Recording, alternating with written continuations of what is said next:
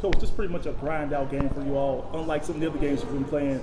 How do you guys able to now learn from this? You just got to trust your process, you know, and like there's a lot in this game you can control and can't control, but the most important thing to me is if our process was right. And if our process was right, like it was tonight, I thought like, you know, we got downhill, we shared the ball, and, you know, sometimes those shots go in, but if our process is right, like, and we're moving the ball, like, you got to trust the next one's going to go in, you know, so, um, but uh, overall for the game, I was really pleased with that, so it's something to build on.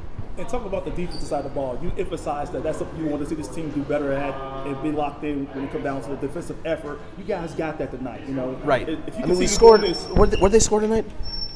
86 points. Yeah. and we still lost by nine. Like it's amazing. You know, you know what I mean? Like that's like the number one defensive rate in the league. But um, you know, and that's you know that, that's the beauty of the G League. You find ways to get better, and I really feel like we invested a lot in the defensive side, and you know we're showing we're showing growth in that area. So we just got to keep going. You know.